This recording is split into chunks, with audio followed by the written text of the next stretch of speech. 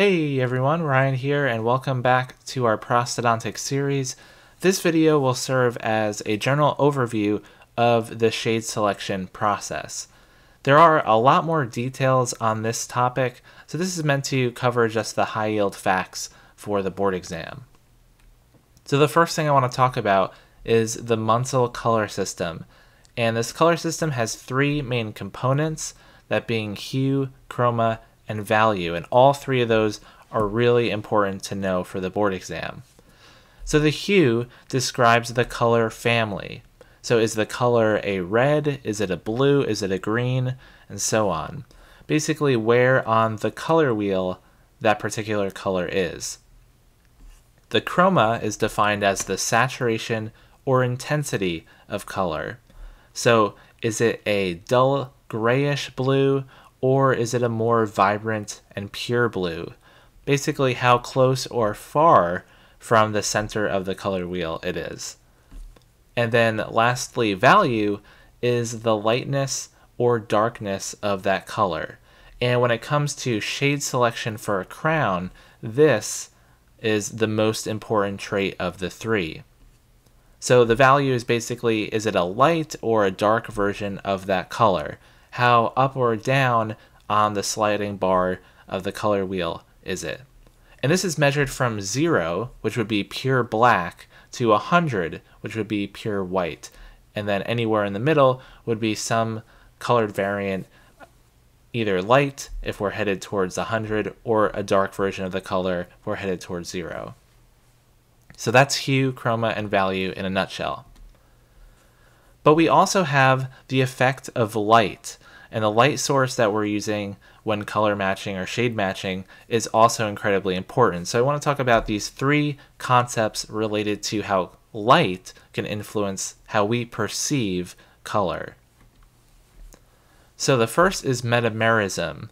And this is the phenomenon that color appears different under different lighting. In other words, the same object can appear different colors under different lights. This image shows the same objects in direct sunlight, indirect sunlight, and artificial light. And the same thing happens when we're shade matching crowns. The actual color of the natural teeth and of the crown we're selecting is can be vastly different depending on the light that we're using to illuminate the oral cavity. So this 5500K or 5500 Kelvin refers to color temperature. A lower temperature has a reddish hue, whereas a higher temperature has a more bluish hue. And 5500 is right in the middle, which is perfectly white light, like you'd see at noon in natural daylight.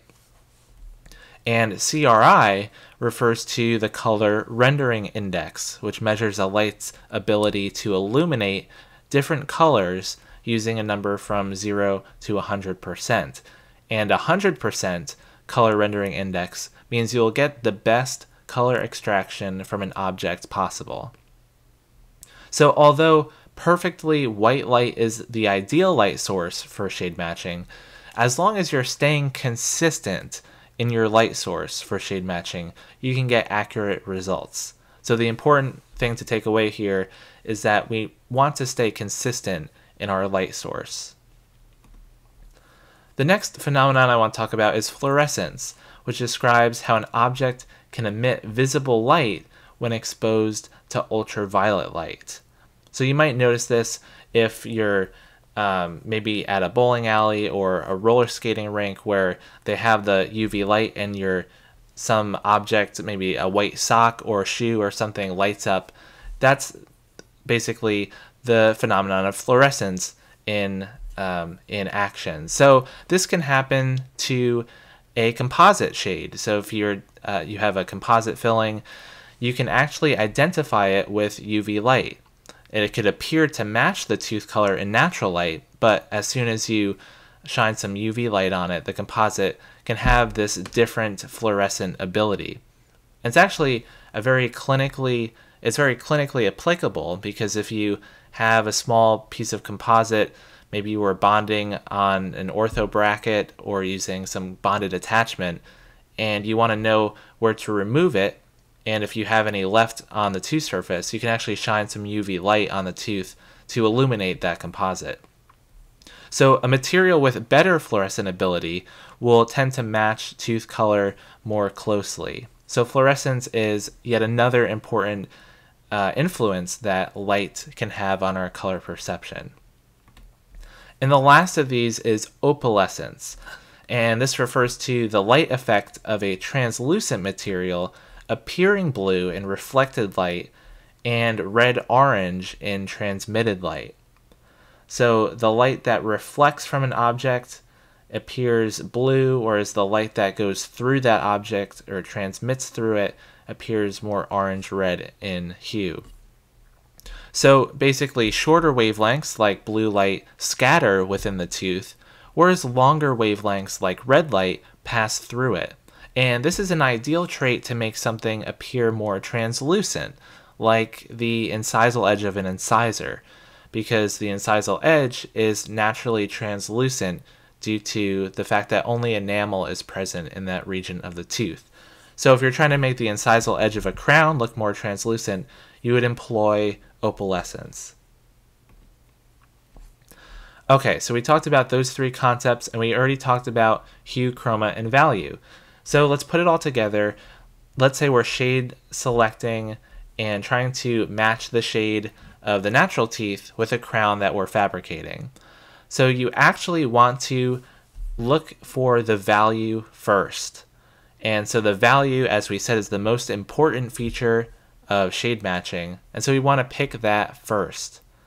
So this is typically found in the middle third of a crown. You can hone in on the value most accurately in this region of the tooth.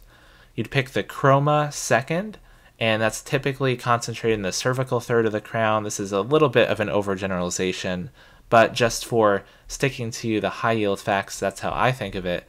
And you th- focus on hue last, that's actually the least important characteristic, and that's mostly concentrated in the incisal third of the crown. The most important thing of this slide is the order in which we select and shade match these qualities from most important to least important. Okay, characterization refers to reproducing natural defects on a crown. So, a tooth, a natural tooth, isn't just one blank shade of white without any sort of characteristics or, or defects, we could say. So, we want to reproduce those defects to make a crown appear more natural in the mouth. So, some ways we can do that is through staining, which is applying some different color stains to the crown. This results in the loss of fluorescence and increases metamerism, and it also usually decreases value. So, decreasing value means you're making something darker.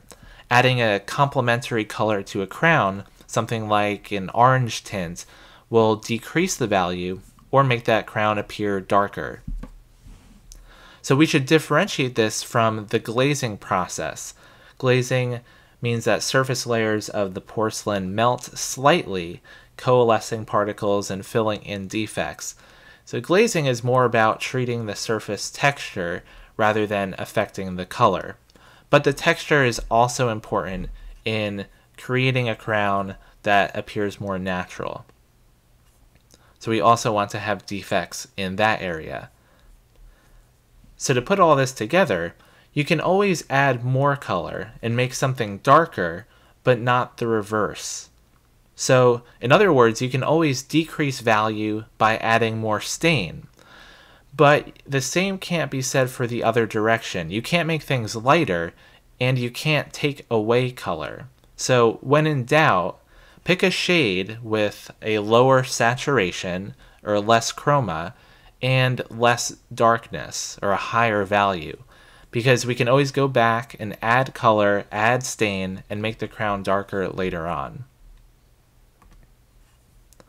Alright, so if we put it all together in the context of delivering a crown to the patient, inserting it in the mouth, we want to do these things in this general order. The first thing we want to do when we get a crown back from the lab is to check the shade and aesthetics This is actually a really good boards question. They may just ask flat out, what's the first thing you do when you get a crown back from the lab?